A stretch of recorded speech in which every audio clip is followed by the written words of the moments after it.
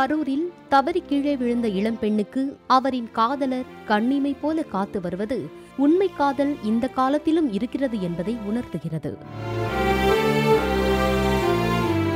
கரூர் நகராட்சிக்கு உட்பட்ட எஸ். வெள்ளாளப்பட்டி இந்திரா காலனியில் கண்மணி என்ற இளம்பெண் வசிக்கிறார். இவருக்கு காயத்ரி என்ற தங்கையும் உண்டு. இவர்கள் சிறுவயதாக இருக்கும் போதே தாயை விட்டு தந்தை பிரிந்து சென்று விட்டார். இதனால் பாட்டி வீட்டில் தாயுடன் வசித்து வந்துள்ளனர். இதற்கிடையே புற்றுநோயால் பாதிக்கப்பட்ட இந்த பெண்களின் தாய் கடந்த பத்து ஆண்டுகளுக்கு முன்பு இறந்துவிட்டார் பின்னர் பாட்டிதான் கூலி வேலை செய்து தன் பேத்திகளை வளர்த்து வந்துள்ளார்.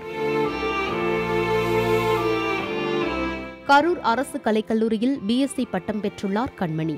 காயத்ரி தற்போது பிஎஸ்சி வேதியியல் இரண்டாம் ஆண்டு படித்து வருகிறார். இந்நிலையில் கடந்த ஜனவரி மாதம் கண்மணி வீட்டிற்கு அருகில் நடந்து சென்றபோது நிலை தடுமாறி கீழே விழுந்துள்ளார். அக்கம் பக்கத்தினர் வீட்டிற்கு அழைத்து வந்துள்ளனர். அப்போதிலிருந்து கண்மணிக்கு வாய் பேச முடியாமல் போய்விட்டது. கையால் எதையும் பிடிக்க முடியாமலும் உணவு தண்ணீர் சாப்பிட முடியாத நிலையிலும் அவதிப்பட்டு வந்துள்ளார். தன் பேத்தியின் உடல்நிலையை கண்டு வேதனை அடைந்த பாட்டியும் மூன்று மாதங்களுக்கு முன்பு இறந்து போய்விட்டார். இதனால் இரண்டு இளம் பெண்களும் தனிமரமாகிவிட்டனர். இந்நிலையில் கண்மணியின் உறவினரான தினேஷ் என்பவர் அவரை நேசித்து வந்துள்ளார். தற்போது நடக்க முடியாமல் போன கண்மணிக்கு அவரின் தினேஷ் தான் எல்லாமுமாக இருந்து பார்த்து கொள்கிறார்.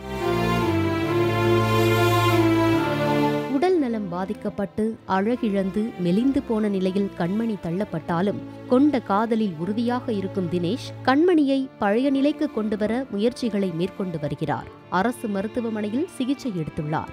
ஆனாலும் கண்மணிக்கு எந்த முன்னேற்றமும் ஏற்படவில்லை. தனியார் மருத்துவமனையில் சிகிச்சை செய்ய போதிய பணவசதி இல்லாததால் மருத்துவம் பார்ப்பதை விட்டு வீட்டிலேயே கண்மணி இருந்து வருகிறார். தற்போது தினேஷ் எம்எஸ்சி முடித்துவிட்டு காவலர் தேர்வு எழுதியுள்ளார். அடுத்து உடல் தகுதி தேர்வுக்காக காத்திருக்கிறார். தனக்கு வேலை கிடைத்துவிட்டால் தன் கண்மணியை கண்மணி போல பார்த்து கொள்ளப் போவதாக தினேஷ் கூறுகிறார். கண்மணி தங்கை காயத்ரி கொசுவலை நிறுவனத்திற்கு வேலைக்கு செல்கிறார். எந்த ஆதரவும் இல்லாமல் தவிக்கும் தங்களுக்கு அரசு ஏதாவது உதவி செய்தால் பேருதவியாக இருக்கும் என்று கண்மணியின் தங்கை காயத்ரி உருக்கமாக வேண்டுகோள் விடுத்துள்ளார். திடீர்னு கீழே விழுந்து வாய் பேச மாட்டேங்கிறா. கை சுத்தமாக வரவே மாட்டேங்குது. அவளால் எந்த வேலையும் அவளுக்கே செய்யவும் முடியாது. நான் தான் அவளை கூடயே இருந்து பார்த்துக்கிறேன். நானும் காலேஜ் படிச்சுட்டு இருக்கேன்.